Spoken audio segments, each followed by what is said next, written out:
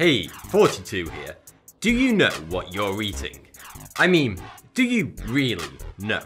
Because you may think you do, but you've been lied to your entire life. Now, this may be hard to stomach, but a lot of the food you eat is fake. Okay, this is not true for everyone watching. Different countries have vastly different food regulations, and some countries are far, far worse offenders at dishing up fake foods to its citizens. I'll reveal the worst countries for doing this in a minute, but first, let's take a jar of harmless honey. It's touted as one of nature's superfoods. It can prevent cancer, heart disease, it's a powerful probiotic, and it boosts your immune system. And all of that is true. If you're eating actual honey, that is, Germany is the world's largest importer of honey. Those Germans just love their honey. But the world's second largest importer of honey, America, tells a very different story when it comes to this supposedly wholly natural product. A study found that over 75% of honey sold in the US doesn't contain any honey, According to the FDA, honey has to contain pollen, otherwise it just isn't honey. It was discovered that the vast majority of commercial honey brands on the shelves in American stores contained no pollen at all, and therefore were not actually honey.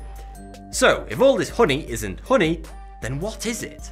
Well, there are many different, carefully engineered cocktails of artificial ingredients that are used to replicate real honey, and each producer uses their own unique mixture. Most are mainly made up from the infamous high fructose corn syrup, sometimes labelled as maltolol syrup, which is cut with sucrose syrup and water. Sometimes some plant extracts and essential oils are thrown in there, if you're lucky. So, you thought you were being healthy by swapping your pancake syrup for honey, but in reality, it's probably the exact same thing. So, why do American honey producers sell billions of dollars worth of artificial sugars labelled as honey? Simple economics. Real honey is expensive. Just think about what has to happen to make honey. Bees have to visit 2 million flowers to produce just one cup of honey, travelling 55,000 miles in the process. And over its entire lifetime, a single bee will produce just half a teaspoon of honey. High fructose corn syrup and other similar ingredients are incredibly cheap to produce, and so companies can sell fake honey for much, much cheaper to consumers, who are none the wiser. There are also no regulations in place in America concerning the actual percentage of real honey content required. In Europe, there are very, very strict rules about what can be labelled and sold as honey. EU regulation stipulates that anything sold as honey must contain more than 60% actual honey. Seems fair enough. And they cannot contain more than 5% sucrose, i.e. syrups the vast majority of honey sold across Europe was found to be 100% honey.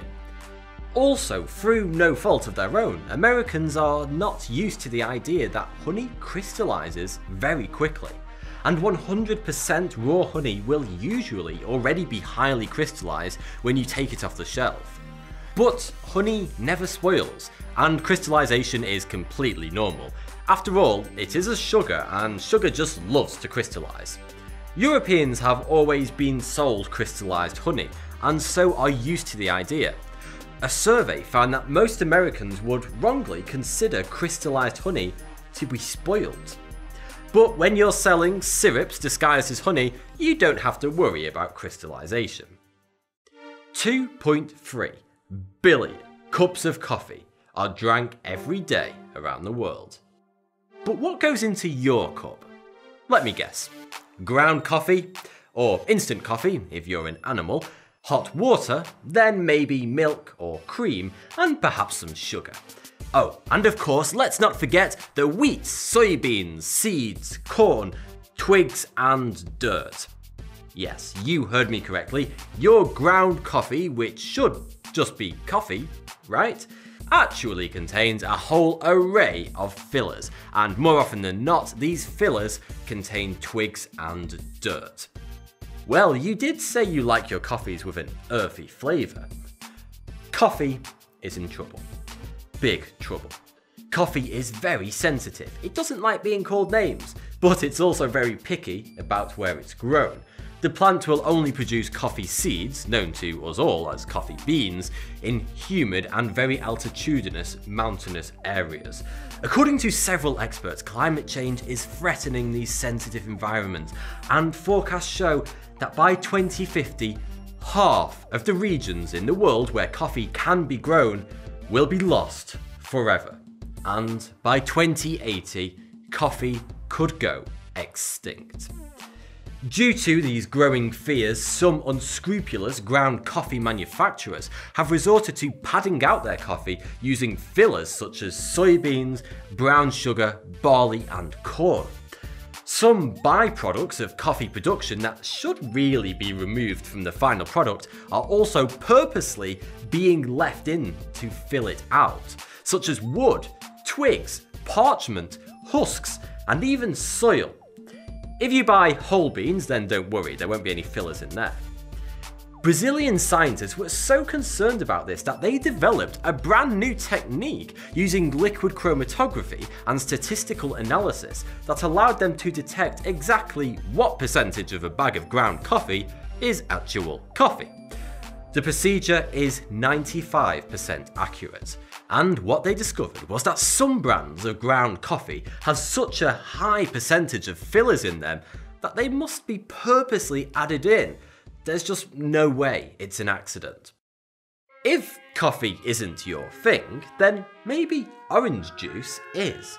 You may have been told many times that most orange juices are artificial, but do you really know just how artificial? What if I told you that the flavour of most major orange juice brands is 100% fake? To make orange juice, you just squeeze oranges, right? Maybe throw in some preservatives and added sugar.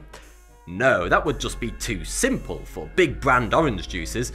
They squeeze their oranges, and then they remove all of the oxygen from the extracted juice.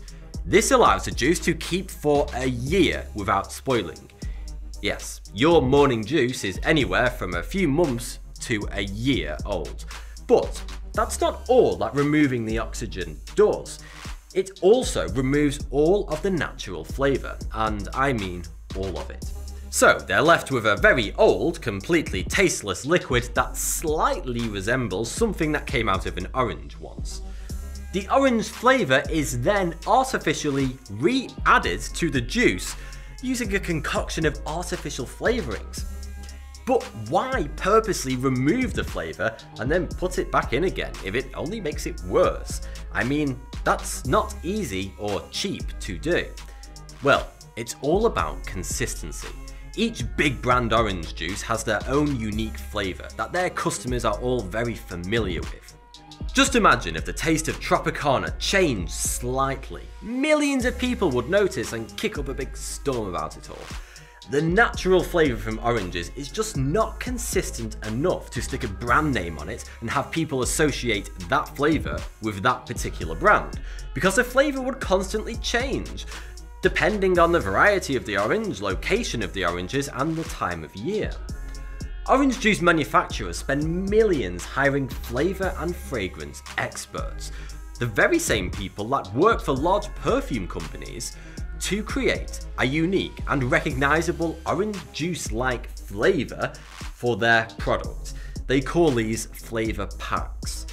And the worst part is that the flavourings don't even have to be listed under the ingredients, because they're derived from orange oils, which is a dubious claim, but it technically means that these artificially flavoured drinks can be sold as 100% orange juice.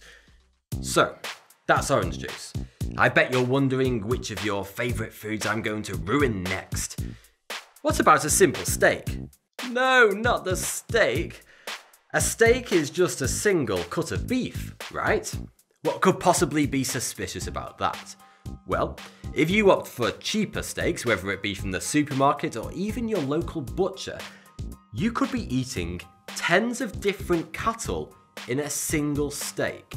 You're purchasing Frankenstein steaks that have actually been glued together from a whole array of offcuts. And this doesn't just happen with beef, it could be lamb, pork, venison, or any meat really. When many animals are being turned into various types of small food products ready to throw into a pan at home, a lot of waste is created and general chunks of meat that would most likely get thrown away. Some unscrupulous companies and butchers use a meat glue called transglutaminase, which is well known within the food industry and is completely untraceable within the final product. They basically glue together the leftover pieces which could have come from many different cows to create one big Frankenstein steak for your enjoyment. Transglutaminase is so good at fusing meat together, it would take an expert to examine a steak very closely to detect any wrongdoing. The best part? It's not a legal requirement to list it as an ingredient. So to be safe, just stay away from cheap steak. But what if you already do? Maybe you are a cow connoisseur who opts to spend 40, 50 or even $100 plus on a single steak in a restaurant. And your favourite steak of all is of course the very pricey Kobe beef. The Kobe beef craze has taken America in particular by storm. Thousands of restaurants all over the country and many large chains now offer highly prized and highly priced Kobe beef burgers, Kobe steaks, and other Kobe beef products on their menus. Kobe beef comes from Kobe cows, a breed of Wagyu beef that comes from Japan. The steaks they produce are prized by chefs all over the world for their impressive fat marbling, flavour, and that melt in your mouth texture. It is the ultimate steak. But it's incredibly exclusive.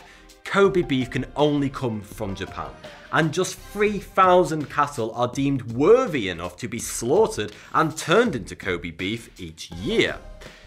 They are all fathered by just 12 highly prized bulls that are considered genetically ideal. Sounds to me like they're trying to create a cow master race over there.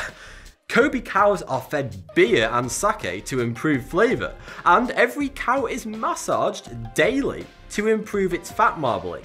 Hell, I want to be a Kobe cow. Now that is some serious dedication to creating a tasty steak, and it doesn't come cheap. It varies, but it will cost you on average about $350 to eat a real Kobe steak in a restaurant. Because supplies are purposely kept small to focus on quality, the amount of real Kobe beef that reaches the US each year would only feed 77 Americans. And yet, millions of Americans are going out and regularly eating Kobe beef in restaurants and buying it from the shop to cook at home for far, far less than $350 per steak. So what's going on here? It is one of the biggest food scams in America's history. As you have probably guessed by now, the vast, vast majority of so-called Kobe beef sold in America is just plain old regular beef that has never even been to Japan. it's just outright lying and clever marketing, if you can call it clever. Some farms in America are even now creating fake Kobe beef for much cheaper, often called Faux-be beef by those in the know. This fake Kobe is sold to thousands of restaurants, and customers pay upwards of $100 a steak for it. But in reality, there are only nine restaurants in the whole of America that sells real Kobe beef, imported from Japan. Yes, just nine, and they have a special license allowing them to cook and sell it. The fake food that you consume in the average day is sickening. Your olive oil is actually peanut oil, soybean oil, and palm oil. Your cheese and even bread contains wood pulp. Yes, wood pulp, which the FDA says is safe to eat. Thanks for the advice, but last time I checked, I wasn't a beaver. Your dried